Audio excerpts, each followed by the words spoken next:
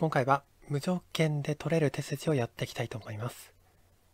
問題は全部で4問で全て黒線無条件の問題ですね。というわけでまず左上の問題からやっていきたいと思います、まあ、これはですね無条件で左上の白取れるという問題ですね、まあ、まず失敗図から見ていきたいと思うんですが、まあ、こちらに置く手ですねこの手はですね白にこちらに打たれて、まあ、この後続か続かないんですね、まあ、跳ねても抑えられて、まあ、この後何かつないでも、まあ、こちらに打たれてこの3子がね助からないんですよね。取れてしまいますから。これ失敗ですね、まあ、何かねこういうふうに打ってもね、まあ、ここに打たれまして、まあ、こういうふうに打っても、まあ、これで助からないですからね。失敗ですね。というわけでここが急所ということが分かりますね。正解はこちらにつける。この手が正解でした、まあ、ついた時にこちらに打つ手がありますね。こういうふうに打って、まあ、これで一線で渡ることができますから、まあ、渡れるということは白が死んでるわけですね。なのでこの問題はこちらにつける手が正解でした。まあ、続いて右上の問題見ていきたいと思うんですが、まあ、この形もですね白無条件で取れるんですがこれ正解が正解がですね2つあるんですね。まず1つ目の正解なんですがこちらに打つのが正解ですね。まあここに打つことによって白を取れるわけですね。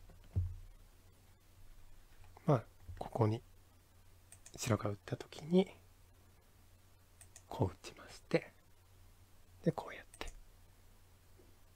で切るんですね。こちらから切るのは失敗ですね。こちらから切るのはちに継がれますから。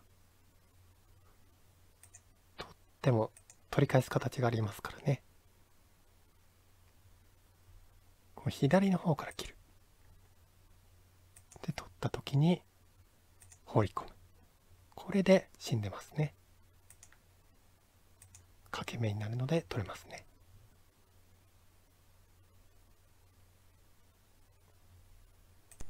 でもう一つの正解はこちらに置く手ここも急所なんですね。まあ白がこちらに打った時に、まあ、こっちにつけると。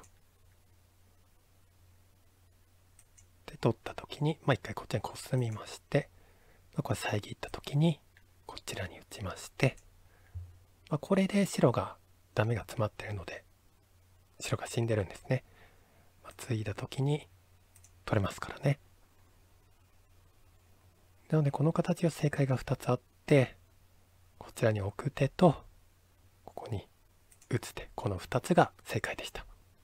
では次に左下の問題見ていきたいと思うんですがこれ右下の形の応用形なんですがこれもですね取ることが無条件で取ることができるんですね。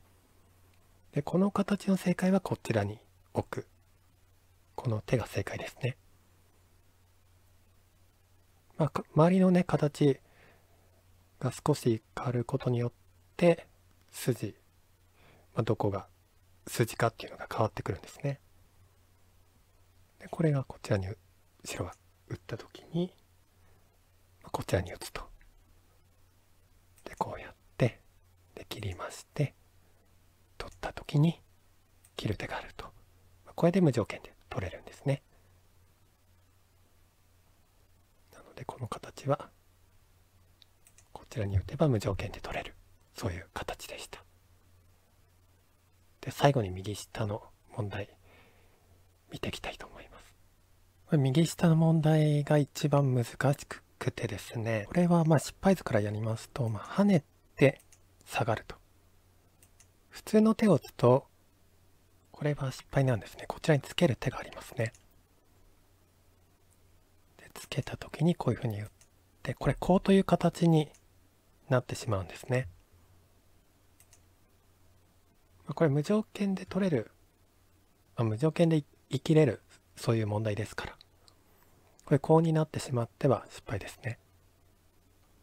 この黒をですね無条件で生きたいんですね。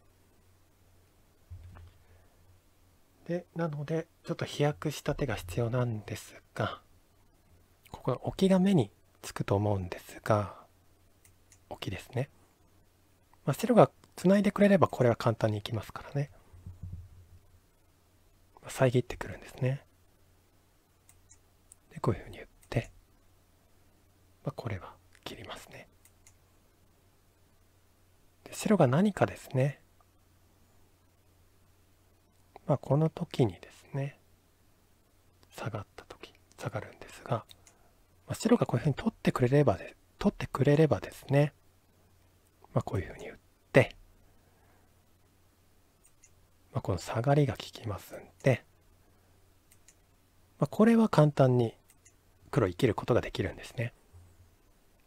これが正解のように思えるんですがこれ勝手読みなんですね。これは生きてるけなんですがこれはですね白取ってくれないんですね。一回曲がってくるんですね。ここに曲がる手がありましてまあこうやって。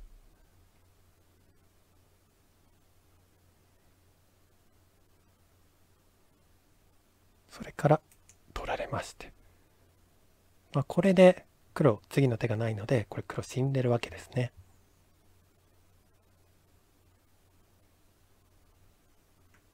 なので置きは失敗なんですね。なのでこの問題の正解はこれ先にこちらにコスむこの手が正解なんですね。でこれはここに打たれると生きられますんで白こちらに跳ねてきた時にそれから置くんですね。この交換を決めてから置くのが正解でした。で、これ先ほどと同じように遮ってきたときに、まあ、下がりまして、まあ、これだとですね、ここに曲がる手が今度はないんですね。つける手がありまして、これはこうやっても、まあ、ここに打つ手があるので、これ白が逆に取られてしまうんですね。なので曲がる手がないので、取ることに、まあ、単純にこちらに打つことになりますね。で、こうやって、まあ、ここが効きますね。で、これでぴったりスペースが2つで生きることができるんですね。なのなので、この問題非常に難しい問題だったんですが、こちらにコスむ、この手が正解でした。というわけで今回はここら辺で終わりにしたいと思います。よかったら高評価とチャンネル登録もよろしくお願いします。ご視聴ありがとうございました。